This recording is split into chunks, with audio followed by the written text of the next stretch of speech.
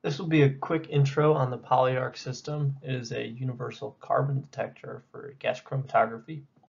The PolyArc system is a two-step microreactor that builds upon the existing technology of the flame ionization detector, which has a linear range from sub-ppm to pure analytes. The PolyArc reactor converts all organic compounds to methane, so the FID has a uniform response regardless of any functional groups that may be present.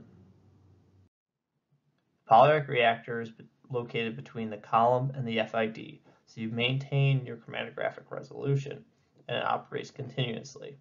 The reactor does two steps. It first converts all analytes to CO2, and then it reduces that to methane.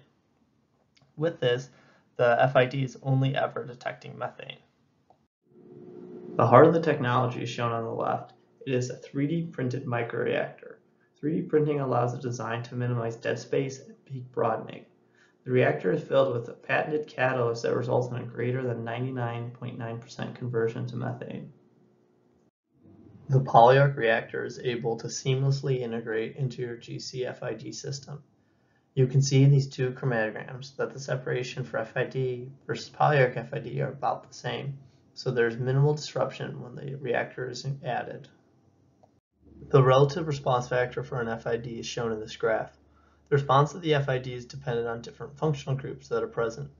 In general, the FID does perform well with straight chain alkanes. In comparison, the PolyArc has relative response factors of about 1. By converting all of the compounds to methane, we remove the variability the FID has for different analytes. Besides the universal carbon response shown on the previous slide, the other benefit the PolyArc system can provide is an increase in sensitivity. This depends on the ratio of oxygenates or other functional groups present relative to the number of carbon. The more substitution present on an analyte will result in a greater increase in response when it's converted to methane.